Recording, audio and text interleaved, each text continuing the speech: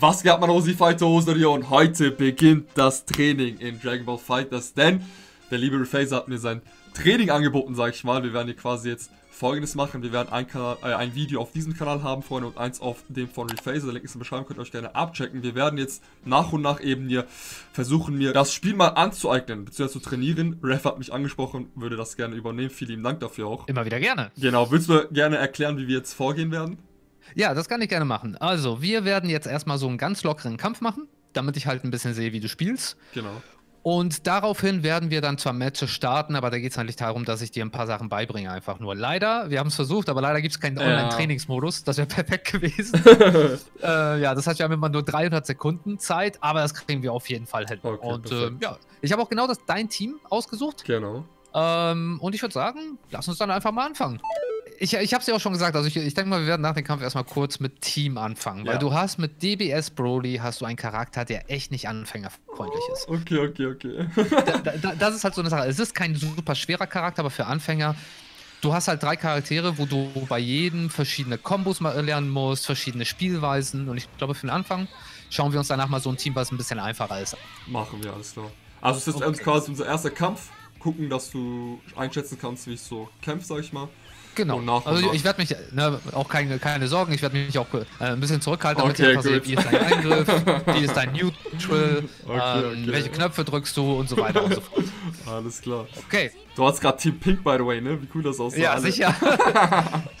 Team Pink und Team, Wasch, Ja. äh, Team Waschbrett auch.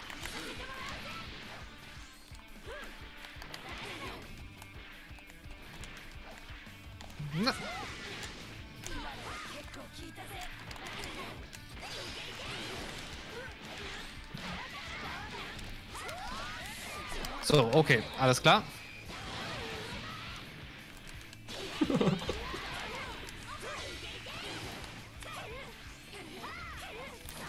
Oh. oh, nice. Also, da, das war zum Beispiel gedroppt. Ja. Aber, also ich merke gerade eine Sache schon, du drückst sehr viel Dreieck und sehr viel Viereck. und das nicht ganz, oh, oh, Ist nicht gut, oder? nicht wie? ganz bedacht. Okay. Oh ja, Mann, geil. Okay. Also ich muss sagen, Broly kann ich selber nicht besonders. Hm, Ah, Brodys Kombos sehen so geil aus. ja, und ich drops natürlich. Okay. Das ist doch zum Beispiel unsafe.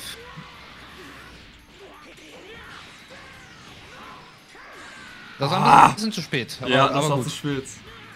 Und du kannst auch, also das ist ja, ich merke gerade, du benutzt nicht viele Jump Cancels. Das heißt so Kleinigkeiten und das war wieder zu spät und ich konnte nicht, ich habe, Ja, mein Timing Okay. muss, das muss echt üben, weil ich habe das Problem, Ref, ja. oh, mit Steuerkreuz zu spielen auf der PS4 ist. Also, dass ich da. Ich will nicht mit Analogstick Ah. spielen, die Combo, äh, die, die Kombi. Ja, tue ich aber auch nicht. Ich spiele auch mit dem Ja. Steuerkreuz und Aber- ich spiele auch gerade mit dem PS4-Controller. Okay. Ah, okay, nice. Also das ist das- Gewöhnungssache. ja, genau, schätze ich auch, denke ich auch auf jeden Fall.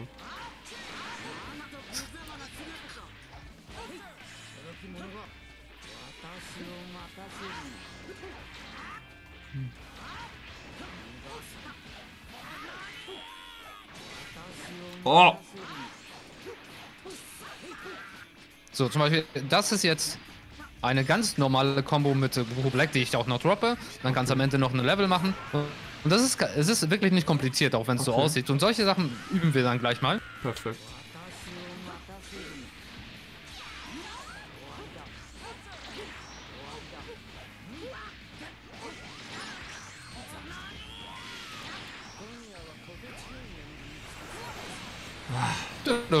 Okay, äh, Entschuldigung, ich habe mich ein bisschen dran. Alles gut, alles gut. Ähm, Ach so, oh Gott, ich dachte, ich wäre Kevlar gerade. Ach so! Und ich so, hä? Warum, warum macht sie was anderes? Oh lol! Nein. What? Das sollte ich nicht. Also ich weiß nicht, wie du das gemacht hast, aber okay. Ja, ich wollte es eigentlich auch nicht machen, um ehrlich zu sein. Also du, eine Sache, die du aber auf jeden Fall schon mal gut machst, du drückst nicht einfach Knöpfe um, und versuchst irgendwie ranzukommen. Ja, Also das heißt, du wartest auch gut ab. Das ist zum Beispiel ein Fehler, den ich nicht, äh, den, oder etwas, was ich grundsätzlich nicht mache. okay. Aber wenn du die ganze Zeit nur am Abwarten bist, Ja, dann. äh, ist es natürlich Ja. Ne, so, kann ich dich ein bisschen baiten, ähm, kann gucken, okay, was machst du? Ich kann jetzt einfach sagen, okay, ich mache einen Dragon Rush, weil ich weiß, dass du blocken wirst und nicht Mhm. ja, zurücken stimmt, wirst. stimmt, stimmt. Ne? Also schon predictable, ne? Und was du auch ähm, äh, dir schon mal angewöhnen kannst, Sparking ist zwar super zu Ja. behalten für den letzten, Aha. aber wenn du zum Beispiel so viel blaues Leben hast und schon fast am Sterben Ah, bist, würde ich dir schon fast empfehlen, das zu benutzen. Ja, Ah, Sparking du? Ja, Okay. ich benutze das zum Beispiel, um den ersten Charakter zu retten, wenn es sein muss. Ah, okay.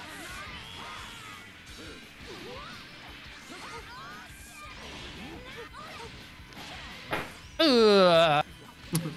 Weil du kriegst zwar am Ende, kriegst du ja mittlerweile für deinen letzten Charakter, kriegst du 10% Genau, Schaden und kannst wirklich guten Schaden machen. Oh, nice. Nein! Ah! Das war ein bisschen zu spät. Ja, ja. Weil ich habe im Kopf zu- äh, quasi so ein, zwei Kombos geübt und wenn ich dann die verkack, dann bin ich kurz raus, obwohl ich dann quasi trotz dessen fortführen könnte. Zum Beispiel, weil ich gerade auf den Ja. Boden geschlagen habe. Genau, da muss halt so wissen, wie wann ich was machen kann. Oh, nice. Das passiert mir so oft, dass ich vergesse, auch die richtige Der Richtung switcht sich, ja, ja, das. Okay. Bots! Zum Beispiel das, das Timing will ich drauf haben. Das ist echt eine geile Combo.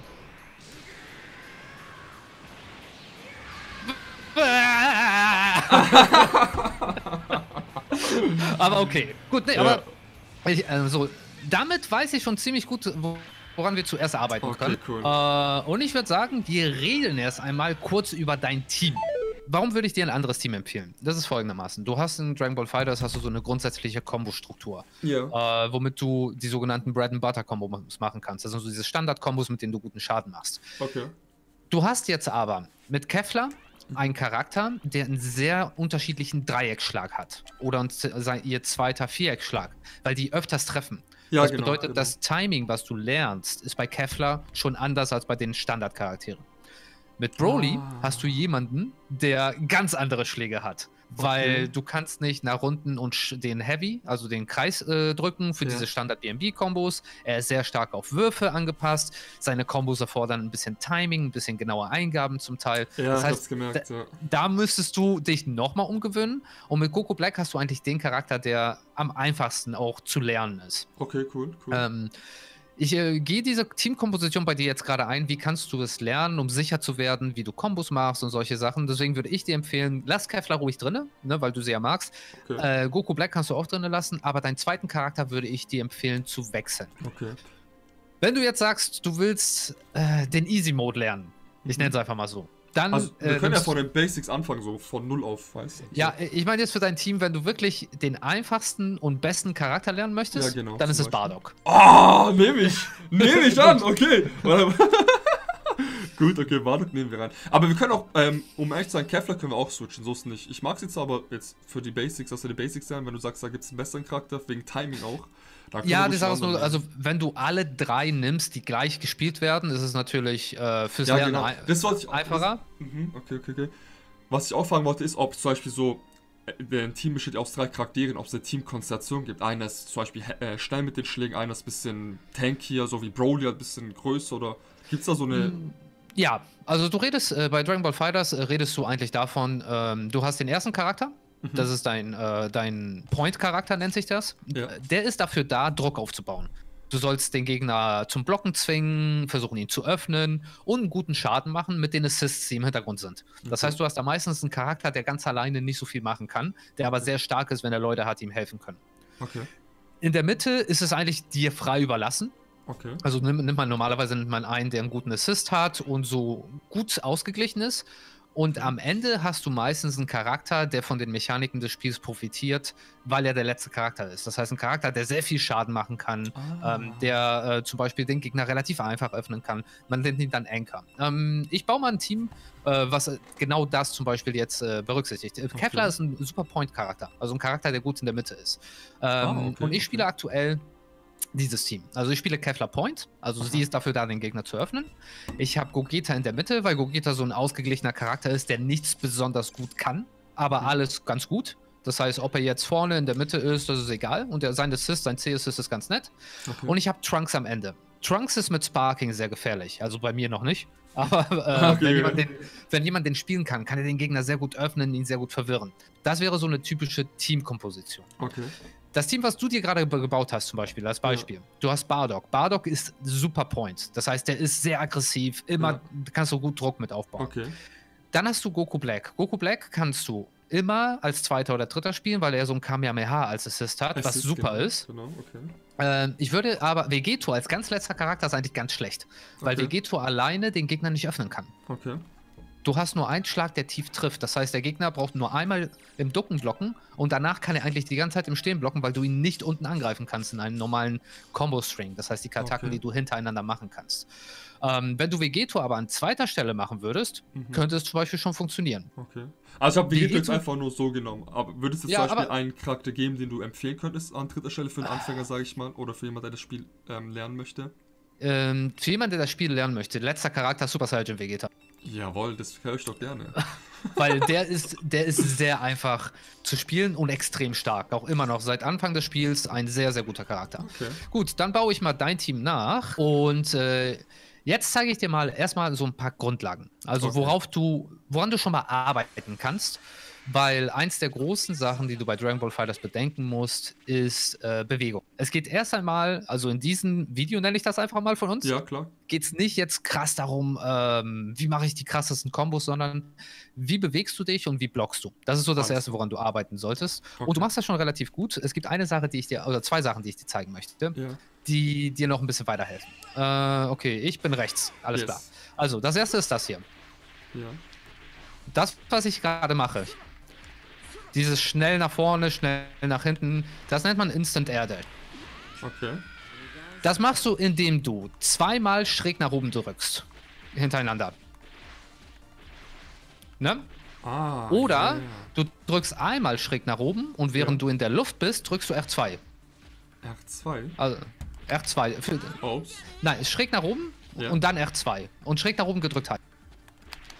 Ah, okay, okay, okay, okay. Weil das ist die einfachere Möglichkeit, das zu machen. Ja, also, das ist äh, ich habe zum Beispiel gelernt, dass durch die Eingabe, das kannst du auch nach hinten machen. Aha. Ne? Da- Das ist einfach so eine Okay. sehr schnelle Bewegung. Relativ Jawohl. schnell auf den Gegner zukommst. Das, pass das passiert mir auch, das kommt ein bisschen mit der Übung. Du musst na, schräg nach oben gedrückt halten und dann rechts. Ne?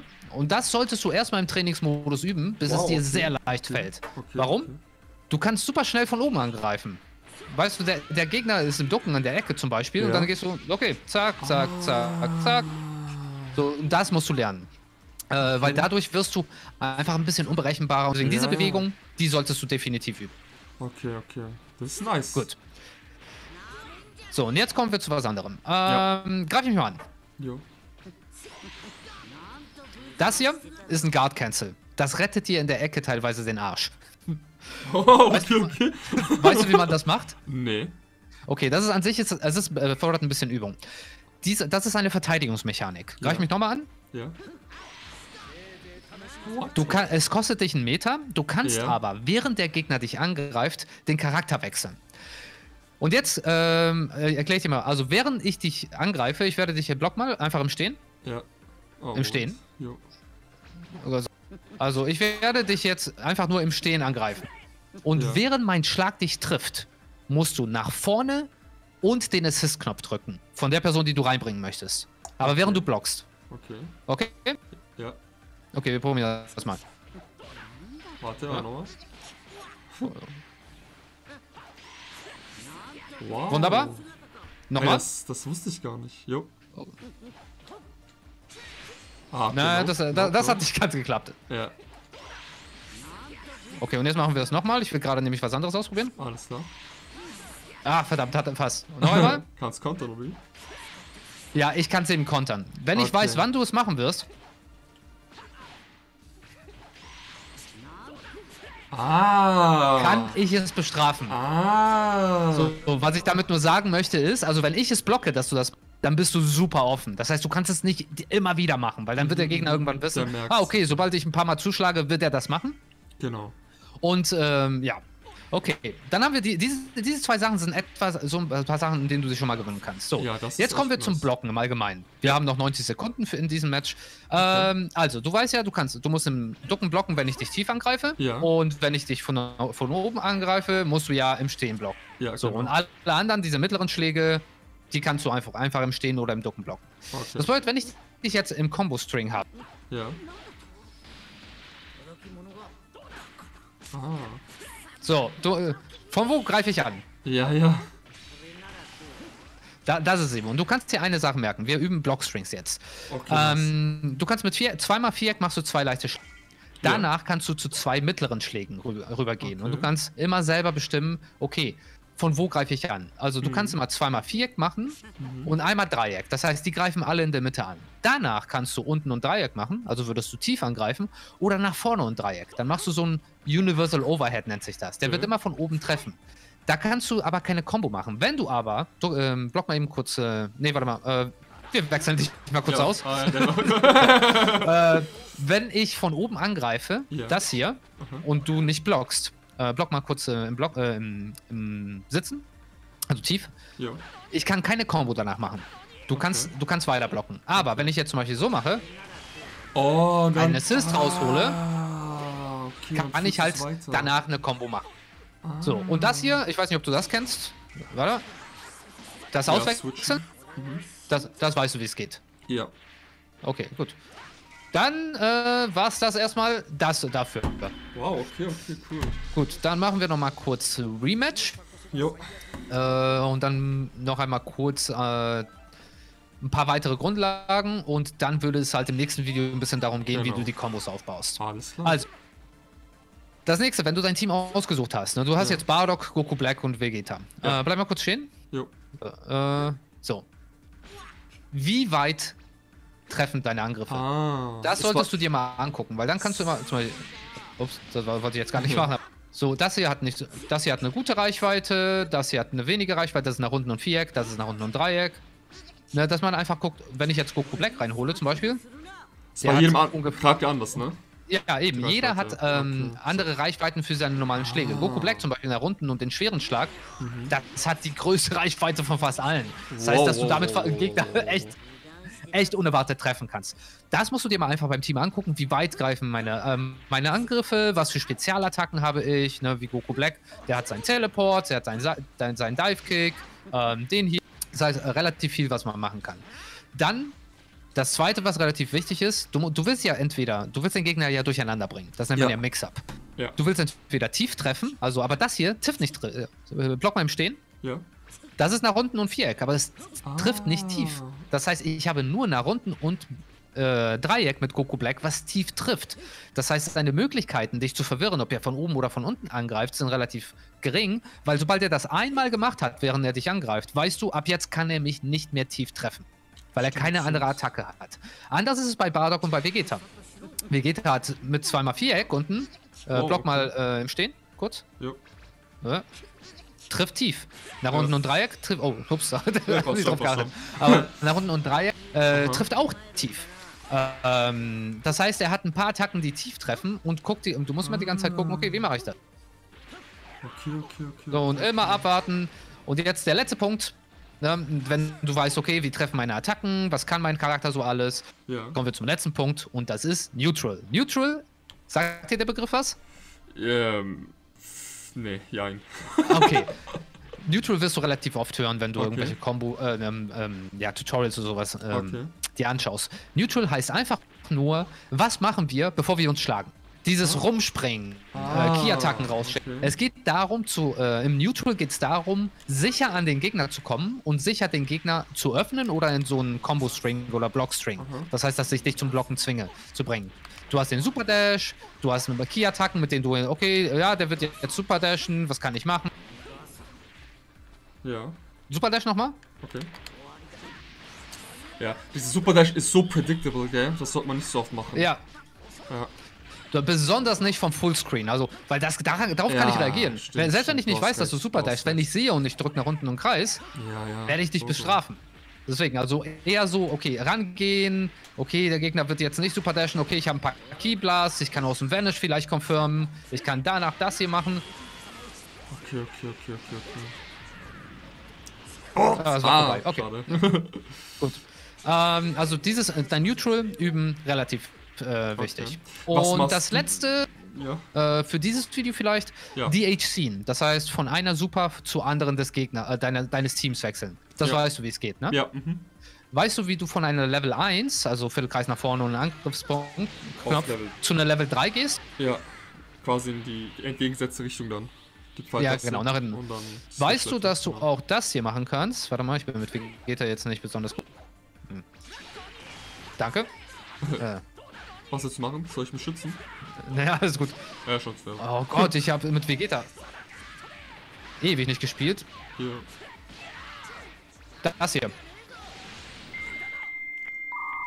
Dass ich oh. aus einer normalen Attacke von Vegeta, also äh, von deinem, meinem Charakter, kannst du zu einer Super wechseln. Mhm. Und das ist auch super einfach. Wenn du die Combo machst, du wirst wahrscheinlich nur Viereck drücken. Also machen wir das mal ganz kurz. Ja. Also genau. Viereck, Viereck, Viereck, ja. Viereck, Viereck, Viereck. Runter. Ach, so meinst so. du Ja, Logo, okay, gut. Genau. Ja, und während der letzte Schlag vom Bardock in der Luft trifft, ja. äh, machst du einen Halbkreis in die Richtung des Gegners und drückst die Assist-Taste. Also das heißt zum Beispiel, warte mal kurz, zack. Zack, zack. Jetzt Halbkreis. Halbkreis? Ja. Okay. Äh, Halbkreis nach vorne. Äh, probier das mal ganz kurz. Beim letzten Viereckschlag. Also Halbkreis nach vorne Was, und um, die Assist-Taste von denen, den du reinbringen musstest.